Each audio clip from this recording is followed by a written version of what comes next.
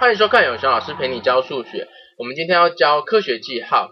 那在教科学记号之前呢，我们要先来学这个单位换算。单位换算很简单吗？啊，来把这一题抄在你的笔记本上哈。那一如往常，我们不只是要教这一题怎么解而已，还要说明一些这个思考它的方式，所以把它抄上去。那你也来想想看哦，这个七分之二包米重三分之七公斤哈，这样三包米重几公斤？那这有一点类似我们第一堂课学那个牛奶喝到八分之五满重七分之十二公升的话哈，那这样子这个牛奶原本一桶有几公升？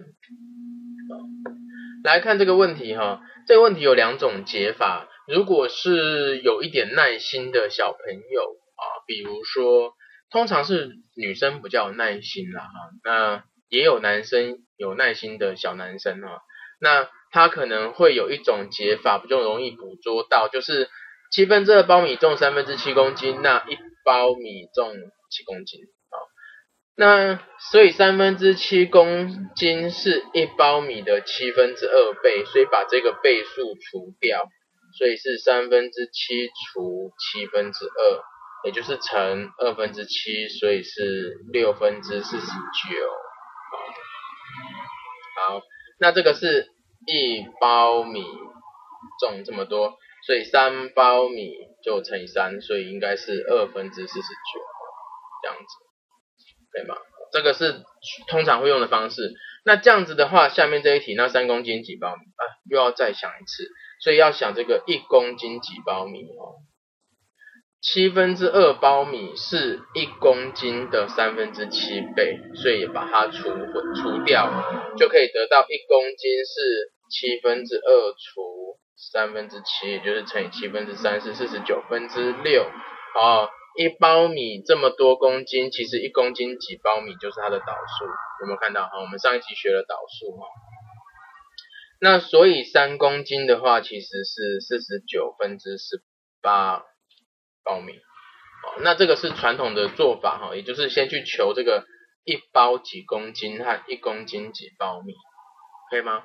好，在这里提供另外一个做法，也就是我个人比较习惯的做法啊，是这样想的，就是七公斤啊，这七分之二包米是三分之七公斤，我们把它视为是一套，我们去大卖场那买那个饼干糖果，不是都会有那种。通派包、经济包，一整包一套里面有好多东西这样子。如果今天七分之二包米哈是一套，那它就重三分之七公斤。所以我就去想这个三包米有几套？因为七分之二包米是一套嘛，所以三包米有几套就去除这个数字。比如说如果两包米一套，那六包米几套？三套，对不对？就是去除这个数字哈。所以是三。我直接写在下面哈，所以三去除这个七分之二，那除出来我有这么多套，每套三分之七嘛，哦，可以吗？同样的，如果是三公斤的话呢，那因为七三分之七公斤是一套嘛，所以它有几套？三除掉三分之七乘以七分之二，我是这么想的。那你就会发现我的逻辑哈，其实可以这样说明，就是。除跟自己同单位的，哦，你来，你在你的这个本子上面写哈，除同单位的，然后再乘另一个，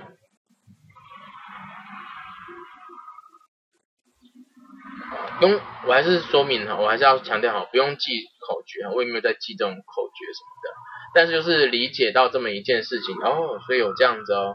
我如果把它想成是一套，那我有几套，所以我去除同单位的就会除出来有几套，再去乘这个。哦，我去除同单位的再去乘这一个。哦，那这个就是这一题的答案。好，然后我们要介绍科学记号哈。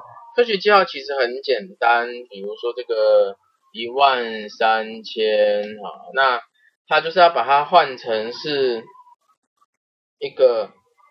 只有一个个位数，但是后面可以接小数，几点几几几几，然后乘上十的啊几次方这样子。这样子描述，比如说一万三千，它是一点三乘一千啊，一乘一万，所以是十的四次哈。那这个就是科学记号，因为学校老师会教了哈，所以我们不多做练习。那在科学记号的运算上面，我只提醒两件事情啊。第一件事情就是怎么样能够快速的换从寻常数字换算成科学记号呢？就是去数零。好，那如果是这个整数的话，比较好想。总而言之，你就是想想看，你要把它从这个个位数后面嘛推到前面去，对不对？要推几个哈？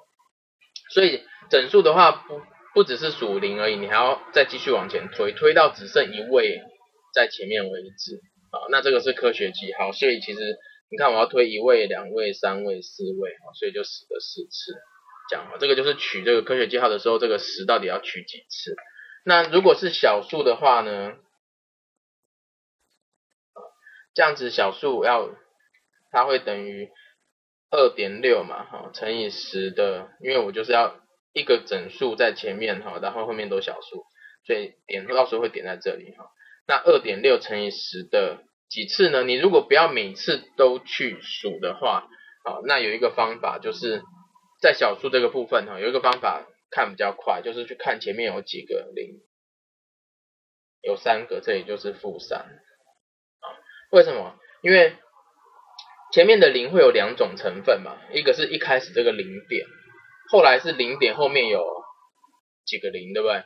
那后面有几个零，就代表你到时候要退几位啊？可是退到这里还不够，你还要再退下一位，退到二后面去，对不对？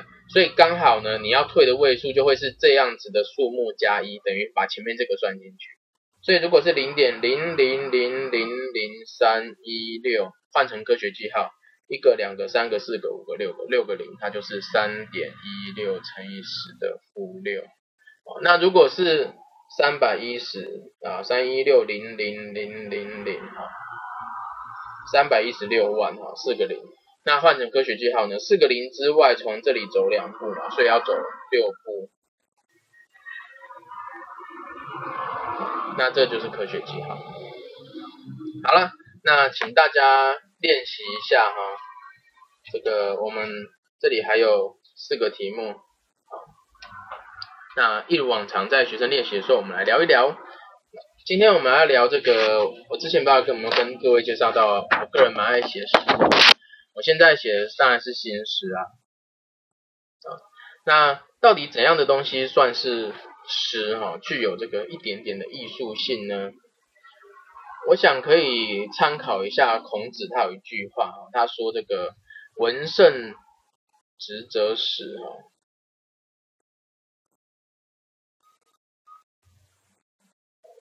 文圣直则史”，然后如果是“直圣文者也”哈，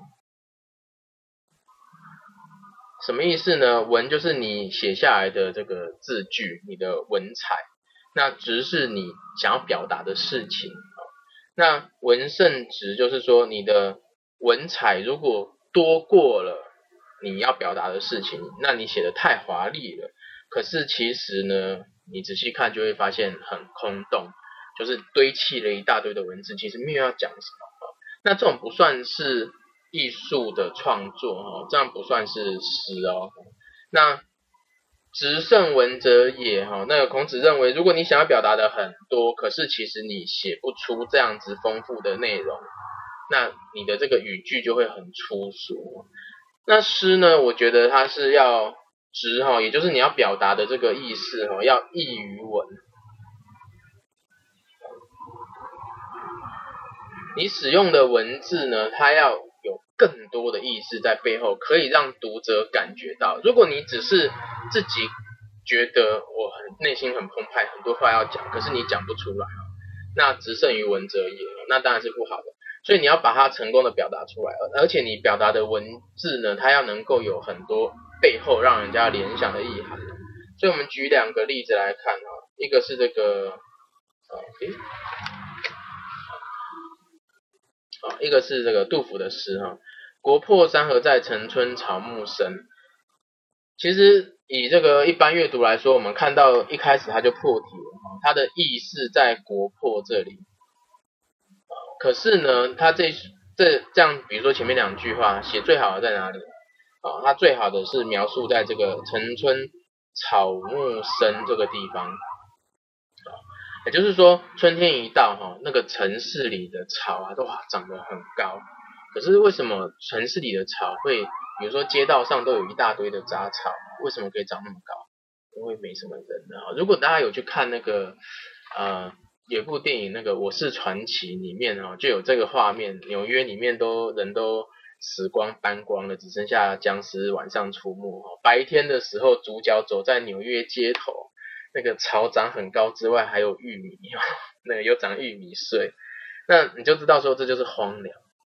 所以他用这个草木生描写出那个画面，背后代表的是荒凉哦。那成功的去形容了这个国破。所以如果我只是讲国破，或者我只是讲国破山河在。这都没什么，就只是在描述一件事情。那你要表达的跟你的意涵其实就只是相当而已。可是你补上“城春草木深”，哇，那个背后那个感觉就很多了。感时花溅泪恨别了心情哦。如果我只是跟你说我很感伤，我很这个呃忧忧愤哈，那这样没什么。或多感伤，就是。啊，那个花会滴到我的眼泪哈，那个鸟飞起来我会被它吓到，你就知道我很投入在这个感伤之中。所以这个就是诗，就是你能够描写出，我只是描写鸟惊心啊，我只描写草木深哈，可是其实它背后哇有很多的意涵啊，然后会让人家有所感动。好，那我们举一个现代的这个作词者哈，那我很喜欢他的作品叫林夕。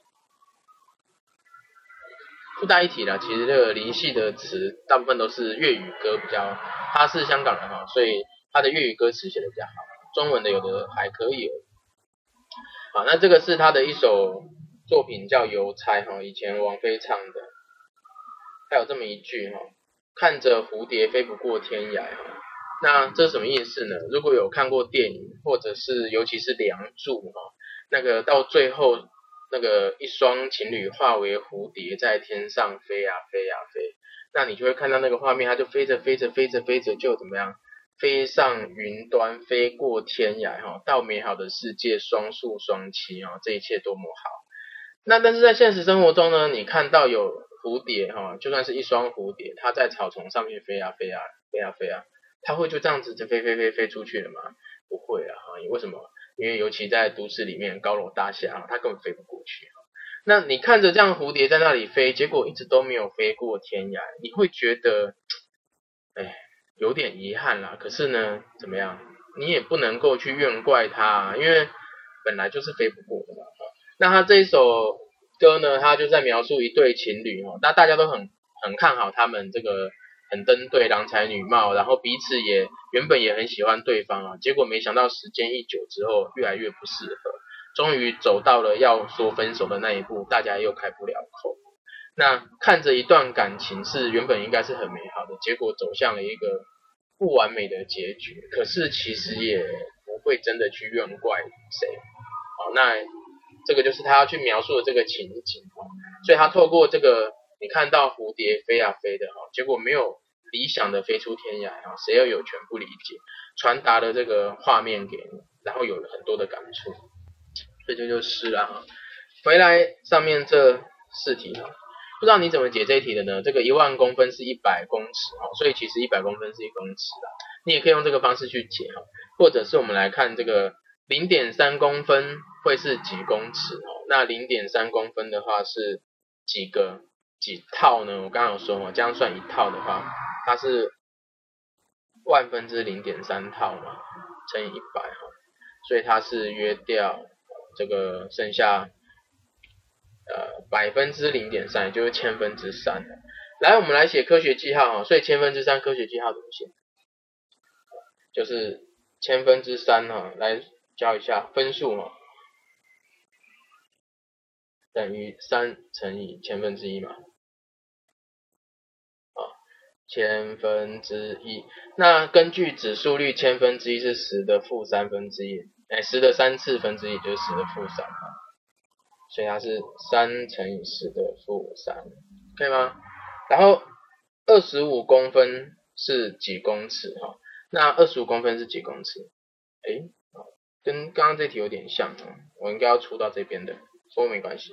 所以它是万分之二十五乘以一百啊，所以是百分之二十五，四分之一。那还是写科学记号，所以四分之一是百分之二十五，是零点二五啊。你看这个，我们之前都一直在讲这一些数字的关联。零点二五的话是二点五乘以十的负一。我们再来说明一次哈，零点二五，然后你写的时候，你一定要把整数的第一个当个位数，所以你小数点会点在这里，所以二是写二点五，那十的负几哈，你看前面有一个零，所以是十的负，就它会搬移位过来。再来这个啊，零点零零三二七，那我就直接写喽，我要到时候会写成三点二七嘛，前面有四个零哈，连前面这个都要算。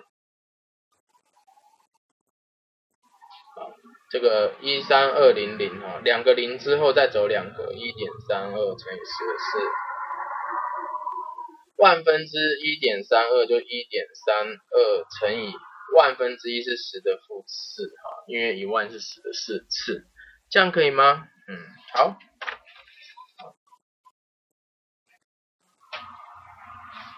那我们来看一下这个上次留下来的作业哈。写这个指数率，那我写快一点喽。嗯，二三分之二的负三次，所以是三的负三次乘以二的负三次乘以五的三次，然后二的负一次，所以会变成啊。那注意哈，这个负是什么意思哈？负就是分之一嘛，所以其实呢，呃，我们可以在这里先整理掉它。三分之二的负三次呢？我们前面有介绍过，a 的负一次就是 a 的导数，所以三分之二的负三次就是三分之二的三，就是二分之三的三次，它的导数可以吗？所以来改一下哈，这样比较好算。所以二分之三的三次会变成。二的三次分之三的三次，那这个也一样哈，它这里负一次，我们可以干脆把它改写成怎么样？跑去分母这里有一次，可以吗？那上面没有东西嘞，哦，其实是一啦，所以最后的答案是在底下其实会有二的四次乘以五的三次，上面是三的三次。这样可以吗？好，透过这个题目哈，让我们更了解到指数率的使用哈。这个三分之二的负三次哈，那这个负号代表的是导数，所以导过来哈就变成二分之三的三次。所以这个二的负一次也是哈，二的负一次是乘二的二分之一嘛，啊是乘二分之一，所以是跑来下面，上面变成一。再看这个。六分诶，六二五分之一除这个哈，那零点零零八啊是多少呢？啊，这个我们之前有学到这个呃一二五跟八合起来是一千嘛，所以如果你可以把它呃零点零零八是千分之八，对不对？那所以其实你可以跟它约掉，所以是一二五分之一所以它是。六二五分之一除一二五分之一，六二五是五的四次分之一啊，除五的三次分之一就是乘五的三次，所以是五分之一，可以吗？上一次上课哈，一个重点就是要比大小。那我们有说了，你要去比大小有两种比法哈，一个是去比底数相同。然后看指数，一个是去让它的指数相同，那要怎么区别？你如果可以捕捉到九二七八一，其实都是三的次方，你就会把它换成是三来当底数，所以这个是三的三次的九次，这个是三的，呃，九是三平方啊，三平方的九次，二十七是三的三次的六次。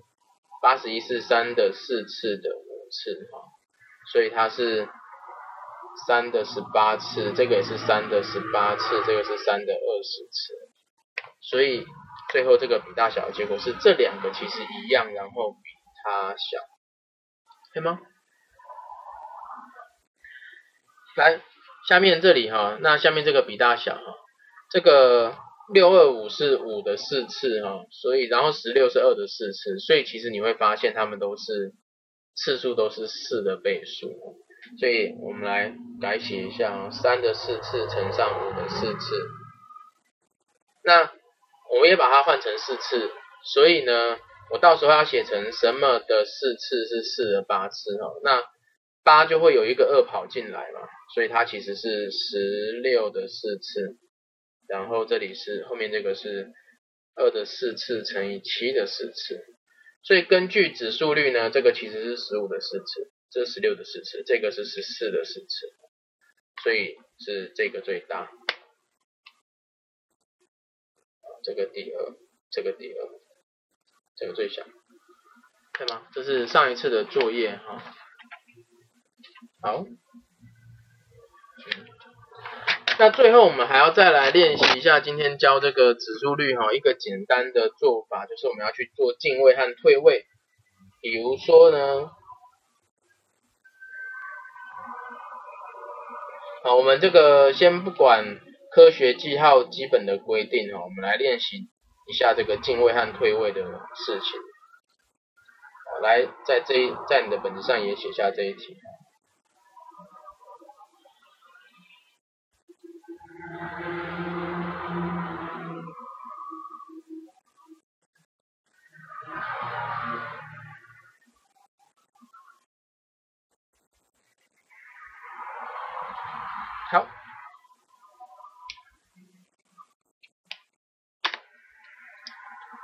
也就是说一点三七乘以十的五次的话，我要写成十三点七乘以怎么样？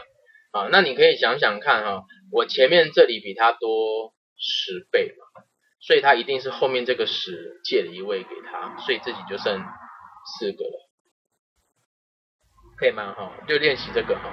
那我这个比它小啊，是我这个是它除以十，所以你要维持等号成立哈，那你除了十要把十乘回来，所以是这里其实是六啊，到时候你把一个十给他，它就变一点三七乘十的五次，是不是？来写写看这一个哈，那所以呢，我要让后面变成我们刚才是调前面嘛，那我们现在是刻意要调后面，我要让后面变十的负三，所以后面这个部分就会少十倍，那所以十倍就要跑去前面，所以这里是二十七点二。如果我要让后面多十倍，那前面就要少十倍，所以就会变成零点二七二，这样子可以吗？那我们今天的作业，